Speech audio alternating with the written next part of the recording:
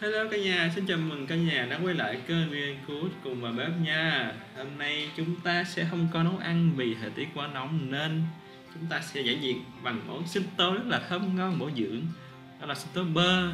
Và kết hợp cùng với sầu riêng đang rất hot trong hè này đó là món sinh tố bơ sầu riêng.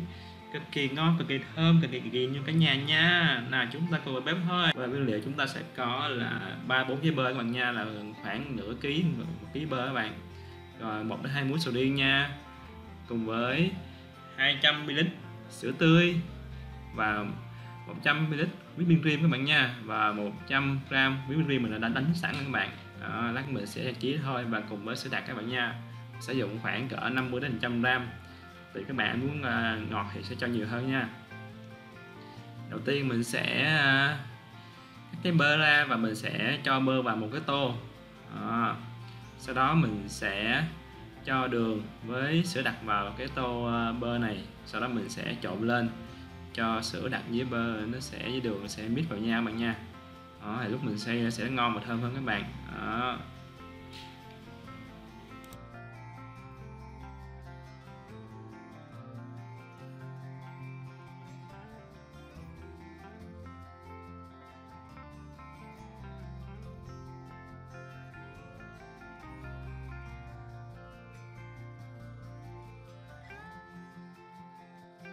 Ok và tiếp theo mình sẽ xay các bạn nha mình sẽ chia thành hai phần một phần là mình sẽ xay sinh tố bơ bình thường phần thứ hai mình sẽ xay sinh tố bơ và biết thêm story các bạn nha Đó. rồi mình cho khoảng 300 gram ờ, uh, bơ vào các bạn nha Đó. cùng với đó mình sẽ cho uh, sữa đặc nè Đó. sữa tươi nè và một chút cái riêng các bạn nha mình sẽ cho khoảng 100 ml sữa tươi cùng với ờ, uh, 50 gram whipping cream các bạn nha. Và sau đó mình sẽ cho đá vào. Các bạn muốn ăn đá đặc thì mình cho ít đá. Còn muốn lỏng cho nhiều đá các bạn nha. Thì các bạn nha.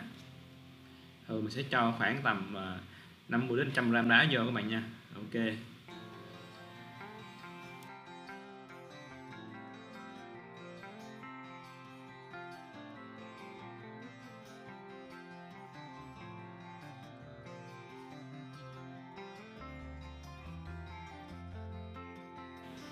Ok và mình bắt đầu mình xay thôi các nhà ơi các bạn vừa xay vừa đảo đều đá trên cho nó ờ, nó được xay nhuyễn các bạn nha.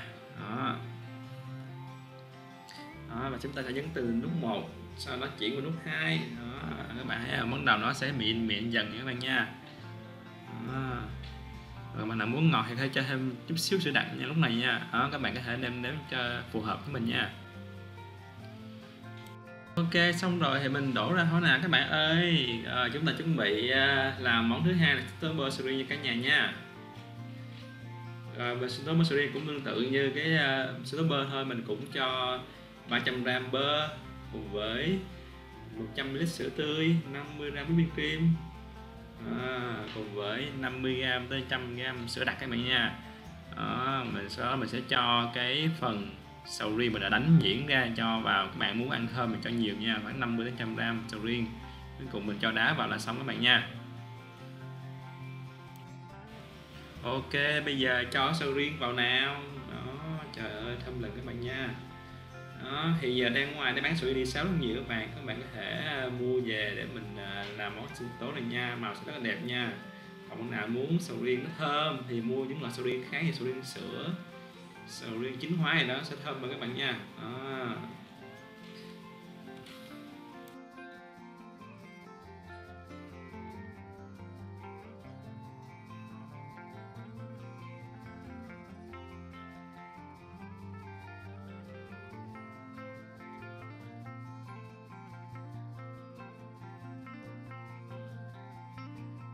Ok, và chúng ta cho sinh tố bơ sầu riêng vào các bạn ơi đó, rất là dễ mịn hơn các bạn nha. Đó. Rồi giờ mình à, trang trí thêm vào vài lát bơ vài lá húng lủi. Đó là chúng ta thưởng thức thôi cả nhà ơi rất thơm và ngon nha.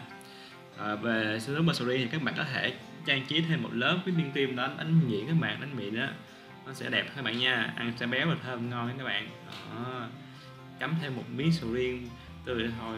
Ờ, quá tuyệt vời cả nhà ơi. Số 1 luôn nha.